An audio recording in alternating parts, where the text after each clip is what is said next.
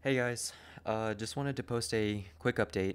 Um, before I start, I just wanted to say I know how this sounds. It sounds honestly very clickbaity very fake, and honestly, I, I don't blame you. But it's not. Uh, this is real. It's very real.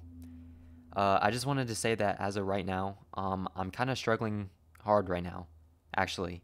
And I know I just got started, but I won't be able to upload as much as I would have liked or intended to uh, this is because I just got started and I don't really have a lot of numbers or growth or really anything uh, to sustain myself. So as of right now, I can't do anything but work on a very limited time for every upload uh, because I have nothing.